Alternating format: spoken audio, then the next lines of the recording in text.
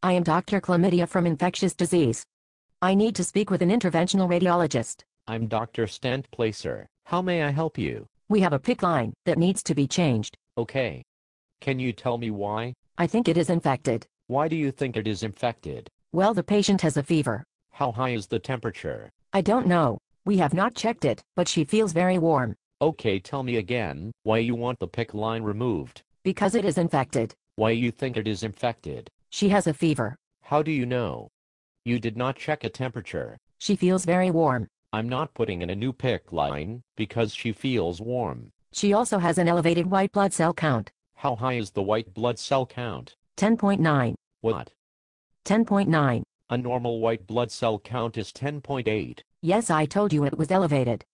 We need to change the PICC line now. Do you have blood cultures? Yes. When were they drawn? Three days prior to the PICC line being placed. When was the PICC line placed? Ten days ago. Were the blood cultures positive? No. So you want me to change the PICC line? Yes, I think it is infected. She feels very warm and her white blood cell count is elevated. Has the patient had any other tests? Yes, a CAT scan of the abdomen. Okay, I will review the CAT scan and call you back.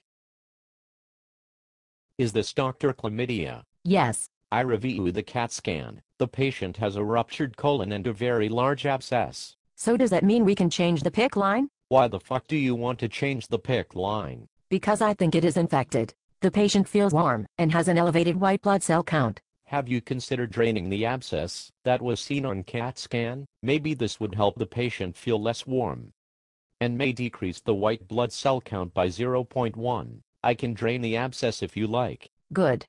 Can she get the abscess drain at the same time she gets the PICC line changed? I meant instead of the PICC line change. But she has a fever and an elevated white blood cell count. Is the patient getting antibiotics now? Yes. By what route? Through the PICC line. Why do you insist on the PICC change? When there is an obvious source of infection. Because I am an infectious disease doctor and that is what we do. What? Overlook the obvious to highlight the minute? Oh, one more thing.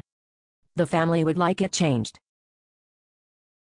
Is this a family of doctors? No. Then tell them to get privileges at the hospital, and then they can change it themselves. Goodbye.